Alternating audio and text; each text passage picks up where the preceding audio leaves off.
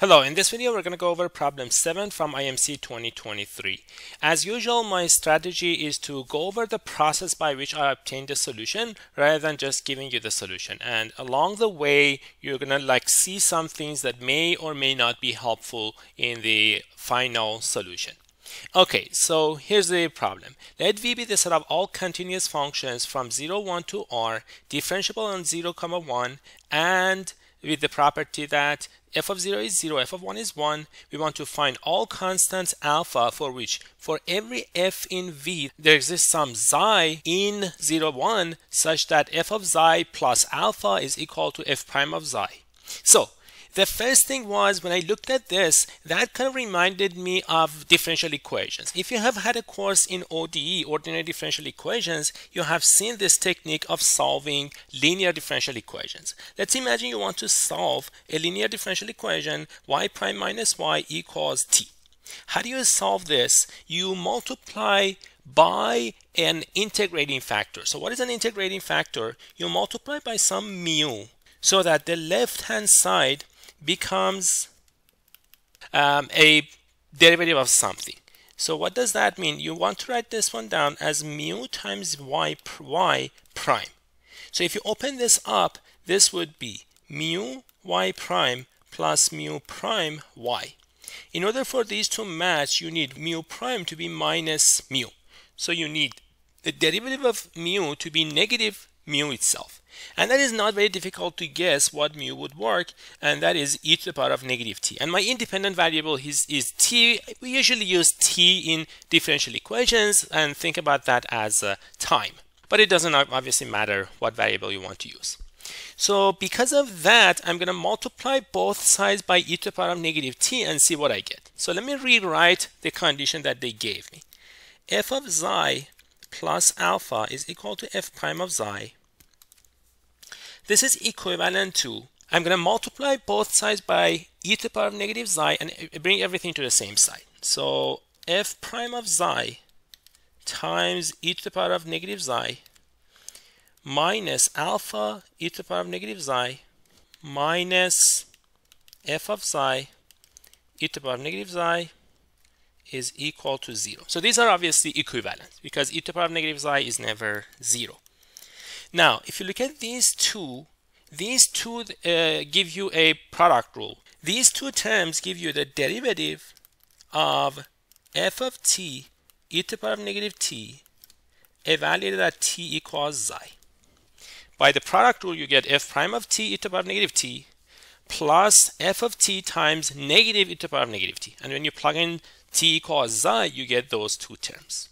Minus so that term becomes the derivative of alpha e to the power of negative t evaluated at t equals xi. But because of the negative sign that we get uh, from the chain rule, I would have to do plus sign here. So these are completely equivalent. And this is the same as the derivative of f of t e to the power of negative t plus alpha e to the power of negative t at t equals xi equals 0. So derivative of this equals 0 is exactly equivalent to what we had at the beginning. Now, if you look at this function, we are given some property about this function. We were given that f of 0 was 0 and f of 1 was 1. So let's call this one g of t. So g of t is f of t e to the power of negative t plus alpha e to the power of negative t we know that g of 0 is equal to f of 0 plus alpha, which is alpha. And we also know that g of 1 is equal to f of 1 e to the power negative 1 plus alpha e to the power negative 1. f of 1 is 1, so that's e to the power negative 1 plus alpha e to the power negative 1, which is 1 plus alpha over e. Now, I would like to show that the derivative of this function at some point is 0. I know the Rolle's theorem. So by the Rolle's theorem, if the values at the endpoints are the same, if g of 0 is equal to g of 1, then there is some xi such that g prime of xi is 0, and that's exactly what I wanted. So again, just to remind you, the Rolle's theorem tells us this. If you have two numbers a and b and the function has the same value at the endpoints, so the function g of a and g of b are the same, the function is continuous over the closed interval and differentiable over, the open interval, then there is some point xi, in this case they called it, that the derivative is zero. So if the endpoints have the same value, then we would have this. Now what does this mean? Alpha equals 1 plus alpha over e means alpha e minus alpha is 1, which is equivalent to alpha equals 1 over e minus 1. So for 1 over e minus 1, we know there is such a xi.